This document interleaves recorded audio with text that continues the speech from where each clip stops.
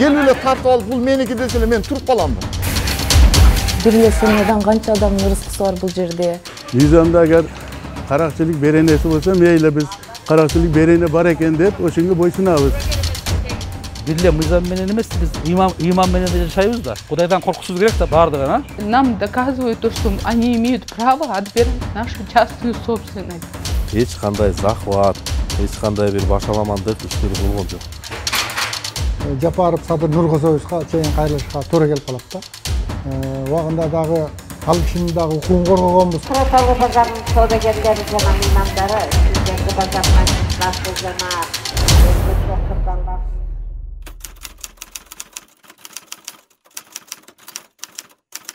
В областном суде первый ознакомительный был, второй уже решение приняли, а, а потом этот а, третий коллективный был и четвертый, да? Вчера, который четыре раза в город Ош приезжали, а в город Карасу сколько раз, мам? Вообще, да, каждые три дня.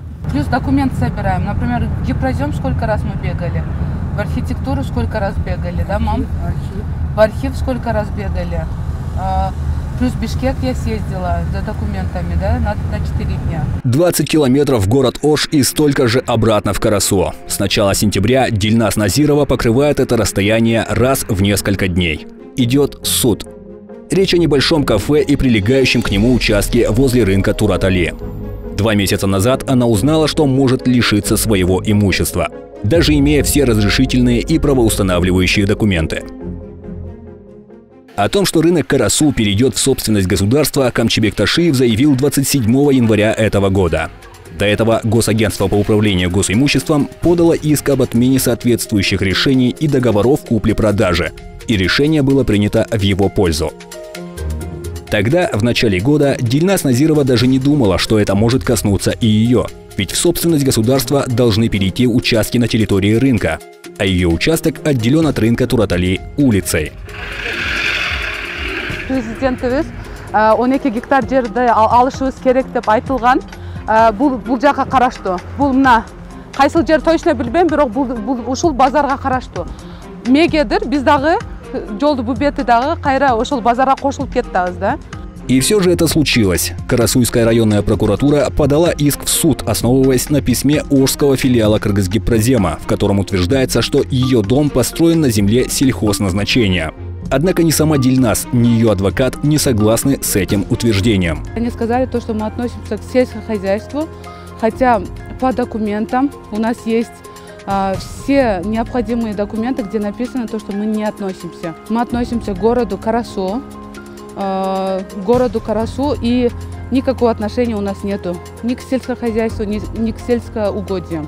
кандай суга чыгып болот эгер ал элүү бешинчи жылы маса заводтун карамагына кирген болсо Э, анан ошол жерде ал жерге финский жана типтеки көп батирлүү үй курулса ал сатылса приватизация болсо ал трансформация болуп бүткөн жер болсо сос объект болбосо ол базарга тиешеси болбосо кайсыл негиз менен бердим десең ага жооп беришпейт да Не получив ответа в южном филиале Кыргызгипрозема, адвокат отправился в бишкекский офис этой организации, чтобы выяснить статус участка.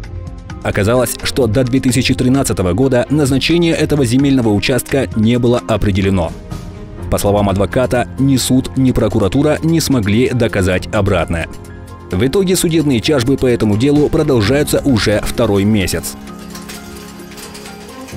Дом Дильназ Назировой находится по адресу улица Ленина, 169, прямо напротив главного входа на рынок. Год постройки дома – 1955. Приватизирован он был в 1991 году.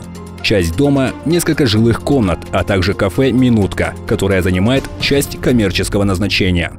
ушул Э, көп деле чоң эмес чакан эле жыйырма беш отуз адамдык В небольшом зале несколько столов. Работу кафе обеспечивают 8 человек. Последние два года помещение арендует молодая семья. Работают все члены семьи. Кафе приносит, пусть небольшой, но постоянный доход. С началом судебных тяжб семья потеряла покой.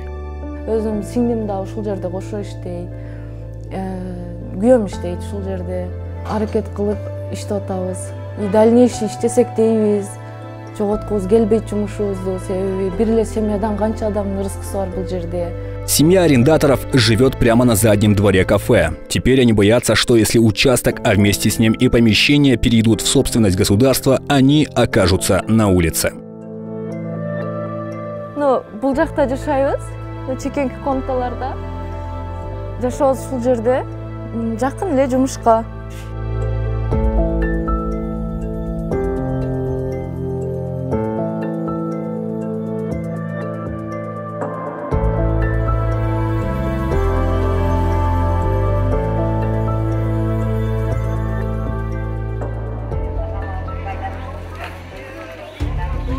Карасуйский рынок был основан в 1984 году, когда под его нужды было выделено 12 гектаров земли колхоза имени Кирова. В 1987 году рынок был передан Кыргызпотребсоюзу, а после обретения страной независимости – Ожскому облпотребсоюзу. В начале 90-х правительство вернуло его обратно. Сегодня это один из крупнейших рынков Центральной Азии с площадью почти 20 гектаров.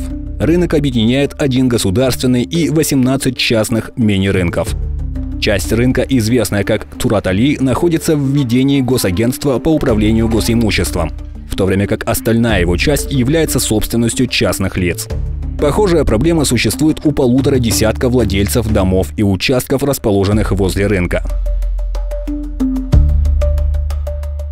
Небольшим участком с несколькими постройками Таир Мурзаев владеет уже более 30 лет. Эта чайхана – источник дохода не только для него, но и для нескольких семей, которые здесь работают. Mana men ham shu yerda 15-20 odam uy bilan ishlaydi. Ularda har birida 4 dan 5 dan bola bo'lsa 200 ga yaqin bola shu yerdan tomoqlanadi, shu yerdan pasoviya so'rasak, uyingda televizor bor ekan deb bitta nevara bizga pasoviya bermaydi. Endi bu bolalari ham ishga jaragan bolalar bo'lsa mayli. Bardig'i ham kattasi 6-7 sinfda o'qiyotadi klassda. Ular qayerqa boradi endi buni tortib olib qo'ysa. Сегодня утром Таир Мурзаев получил очередную повестку в суд. mana bugun yana hozir o'shdan mana soat birga yana o'tish sotini chaqiribdir mana. Bunda ko'rkengash bo'lardi. Ular to'xtamda e, oldi sotdi bo'yicha государственный нотариустан oldi sotdi. Договорlarni baridag'in yo'qqa chiqaramiz. Bu qanday bu hukumat? Unda yo'q yo'qmi hukumat? Бул өзү документте мына бул документтин жери даже ошо картасы менен турат мына 2005 жылы февралда чыккан бул Среди собственников есть и такие, кто даже не получал судебных повесток. Соромбай Джакыпов утверждает, что его 50 соток земли перешли в ведение госагентства по управлению госимуществом, хотя его ни разу не приглашали на судебное разбирательство.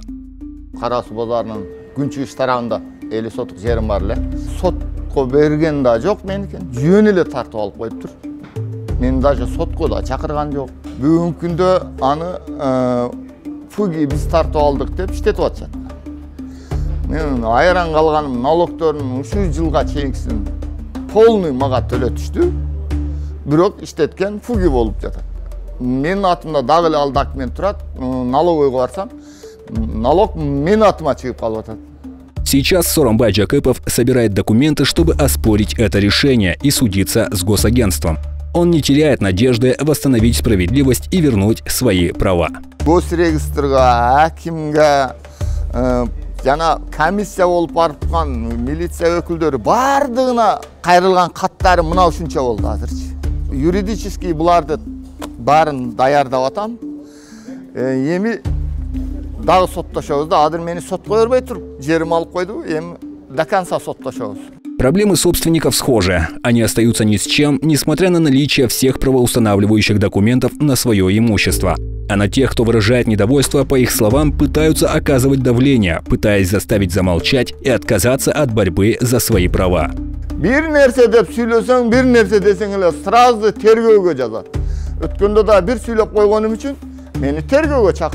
а тергөөгө барганда эмне менин документим бар мен конституцияда жазылган укугум бар да мен ошону коргошум керек да келип эле тартып алып бул меники десе эле мен туруп каламбы менде конституцияда укугум бардыр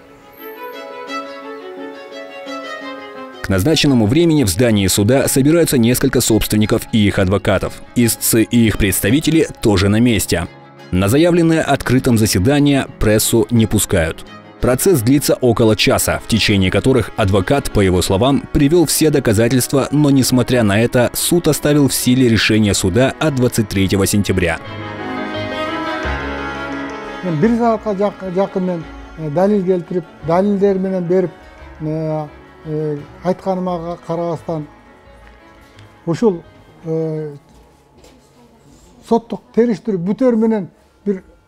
жетпей ошо биринчи инстанцияда соттун жыйырма үчүнчү сентябрындагы чыгарган чечимин күчүндө калтырып койбодубу он сегиз жыл болду адамдардын укугун коргоп катышып жүргөнүмө бирок мындай эч убакта көргөн эмесмин бул мыйзамга дагы адамгерчиликке да эчтеке жатпаган нерсе да соттук отурумдун жүрүшүндө биз ушул мен жогоруда айткан фактыларды прокуратурага далилдеп берүү үчүн анан жанакы смнын улуттук коопсуздук кызматынын тергөө кызматы берген немени айттык биз баягы жолдомо каттардын ичиндеги тиркелген жыйырма барактын түп нускасын бизге алып келип бер деп атайын ходатайство келтирдик өтүнүч биз көрөлү дедик кандай фактылар аныкталган экен десек аны да көрсөтө алган жок да бир эле мыйзам менен эмес биз ыйман менен да жашайбыз да. Кудайдан коркушубуз керек да баардыгын а Тологон Кельдибаев представляет интересы пяти собственников недвижимости у рынка Карасу. Он утверждает, что Орский областной административный суд признает недействительными решения местных властей 30-летней давности, что нарушает закон, ведь их можно оспорить только в течение трех месяцев после уведомления. Адвокат также отмечает, что суды в спешке создают несуществующие организации.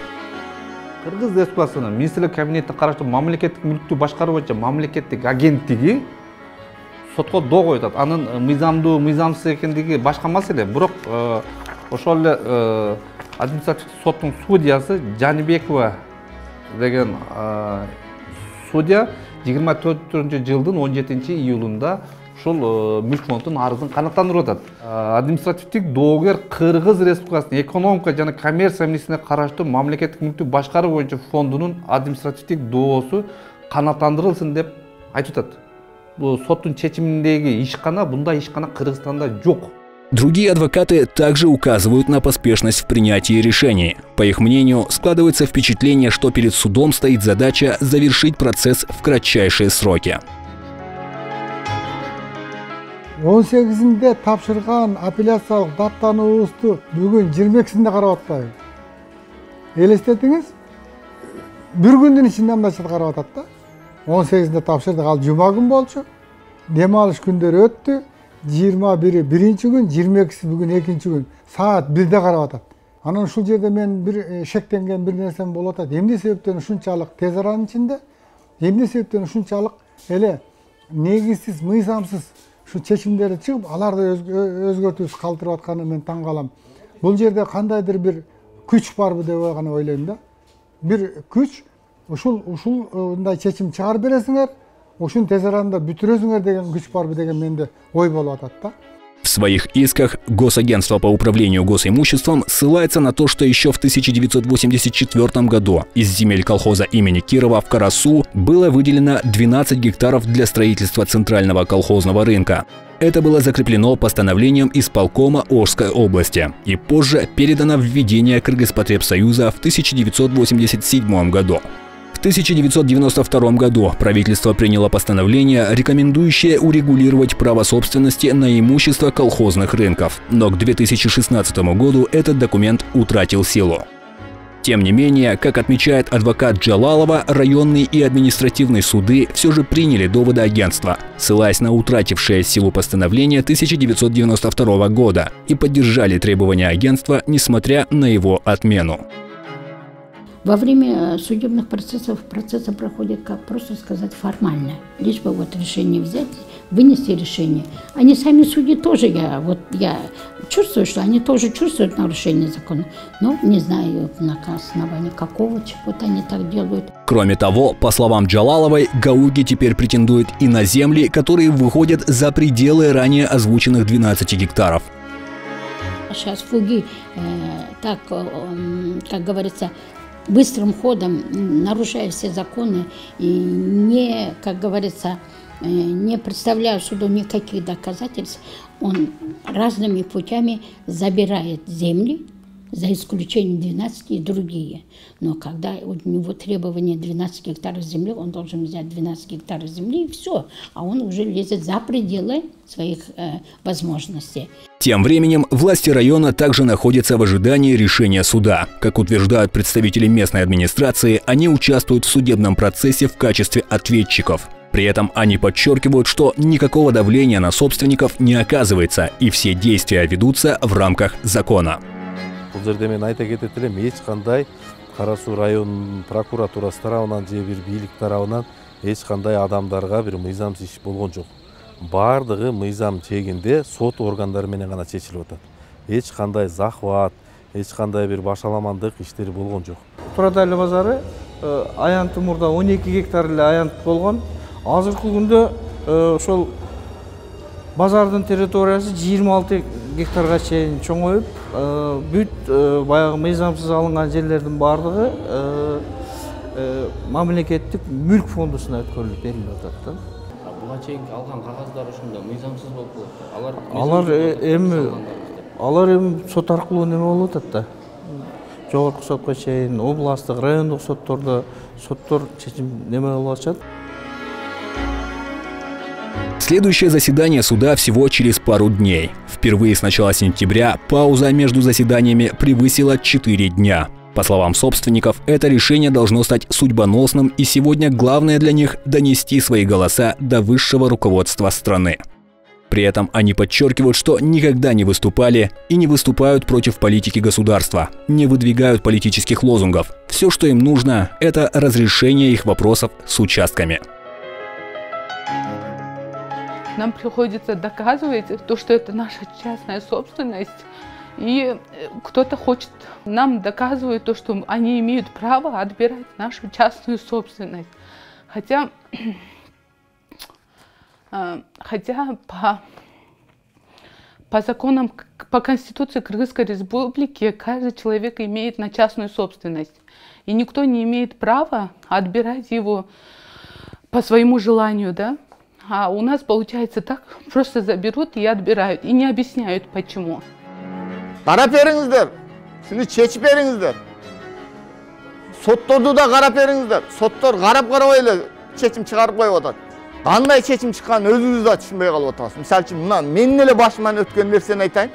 Мени даже сотко чакырбай туруп менин жерими өткөрүп берип коюп атат кандай акысы менен кайсы статьянын негизинде азыр эми соттордон үмүт кылып жатабыз эгерде соттордон үмүт үзүлгөн болсо айла жок кыргыз республикасынын президенти ошол адамдардын укугун коргогон конституциянын кепилдиги элдин ишениминдеги жапаров садыр нуркозоевичке чейин кайрылышка туура келип калат да убагында дагы Для этих людей все началось с простого права – на землю, дом, бизнес. Они верили, что документы на собственность станут их защитой, но сегодня им приходится отстаивать это в судах, сталкиваясь с решениями, которые часто кажутся необоснованными и принятыми без их участия. Сейчас они подают апелляции, обивают пороги инстанции и пытаются сохранить то, что считали своим. Кто-то готов идти до конца, а кто-то надеется, что здравый смысл восторжествует скорее. Смогут ли они вернуть уверенность в завтрашнем дне? Все зависит от решений, которые будут приняты за закрытыми дверями.